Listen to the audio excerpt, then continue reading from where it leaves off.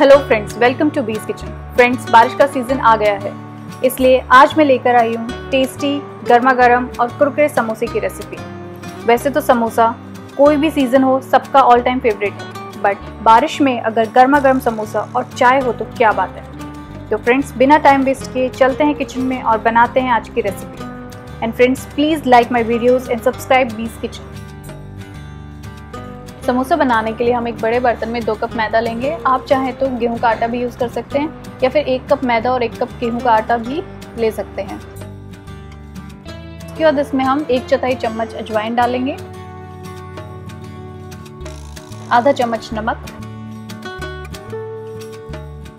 और फिर से अच्छे से मिक्स कर लेंगे।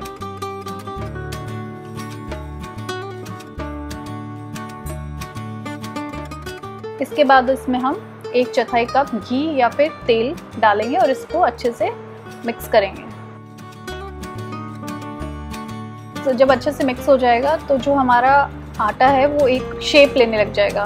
तो ये देखिए, ऐसे शेप बन जाएगी तो दैट मीन्स हमारा जो आटा है, वो अच्छे से उसमें ऑयल या घी जो भी है, वो मिक्स हो गया है। उसके बाद हम थोड़ा सा इसमें पानी डाल के मतलब थोड़ा थोड़ा करके पानी डालेंगे और उसको आटे को गूंदेंगे।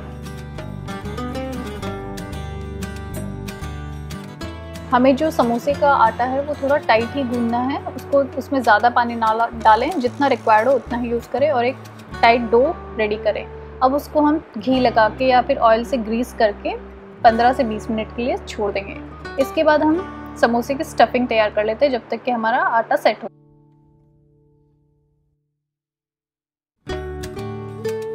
तो हम एक बड़ी कढ़ाई लेंगे और उसमें दो चम्मच तेल डालेंगे।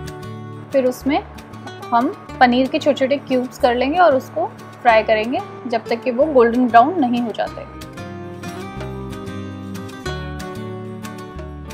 तो ये हमारे जो पनीर हैं, वो रोस्ट हो गए अच्छे से, अब उनको हम निकाल के एक साइड रख लेंगे।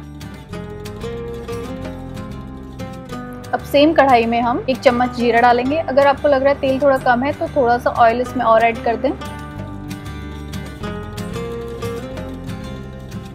इसको तड़कने देंगे। उसके बाद हम उसमें एक चम्मच फाइनली चॉप अदरक डालेंगे और उसे भी एक मिनट के लिए सोटे कर लेंगे। उसके बाद हम उसमें दो बारीक कटी हरी मिर्च डालेंगे। फिर इसमें ऐड करेंगे आधा कप मटर और उसे दो मिनट के लिए सोटे कर लेंगे।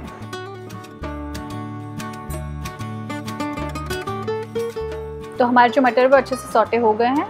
अब हम इसमें तीन उबले हुए आलू लेंगे, जिनको मैंने अच्छे से मैश भी कर लिया है और उसके बाद उसे हम इसमें डाल देंगे और इसे अच्छे से मिक्स करेंगे।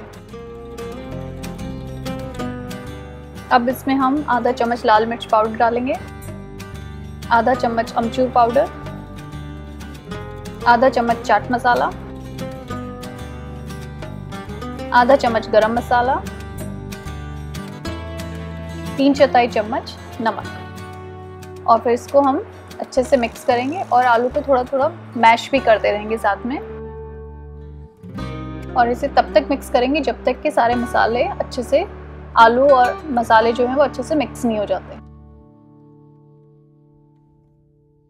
तो ये हमारे मसाले मिक्स हो गए हैं।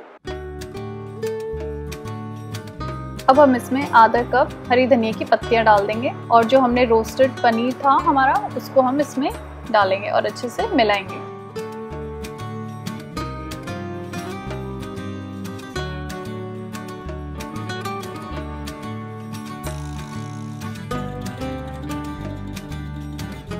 अब हम इसमें बारीक कटे हुए काजू और किशमिश डाल देंगे और फिर से अच्छे से मिक्स कर लेंगे।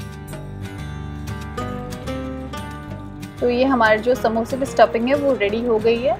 इस सब प्रोसेस में हमें अप्रॉक्स 10 टू 15 मिनट्स लगेगा और इसी बीच हमारा जो आटा है, वो भी अच्छे से सेट हो गया है। अब इसको हम 15 मिनट बाद वापस से थोड़ा सा हल्के हाथ से गूंद लेंगे।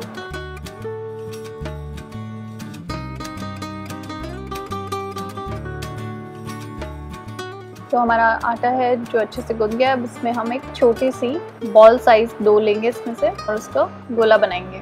और फिर इसे बेलन की मदद से इसे हम बेलेंगे।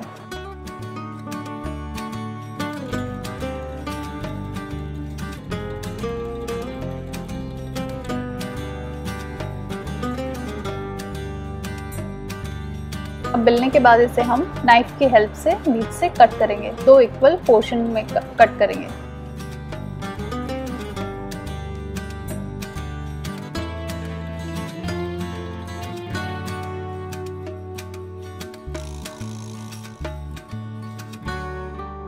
अब जो इसका हाफ़ पोर्शन है, उसे हम लेंगे और पानी से इसके कॉर्नर्स को हम ग्रीस करेंगे। अब इसे हम एक कोन की शेप देंगे। जैसे वीडियो में दिखाया गया है, उस टाइप से उसे हम ऐसे फोल्ड करेंगे और ये हमारा कोन तैयार हो गया है। स्लाइटली उसको हाथ से प्रेस कर देंगे ताकि वो अच्छे से चिपक जाए।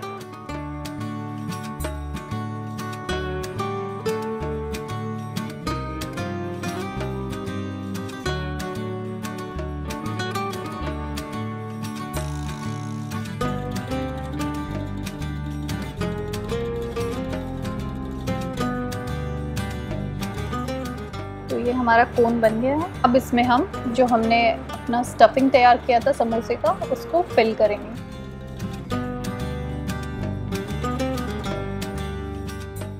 अब हम इसके एक प्लीट क्रिएट करेंगे। ये जो प्लीट है, ये समोसे को खड़े होने में हेल्प करती है और इसको फिर दूसरी तरफ़ चिपका देंगे। आप चाहें तो इसमें हल्का सा इस चारों तरफ़ से इसको पानी से ग्रीस कर ले ताकि वो अच्छे से चिपक जाए। तो ये हमारा इस तरह से समोसा बन के तैयार हो जाएगा।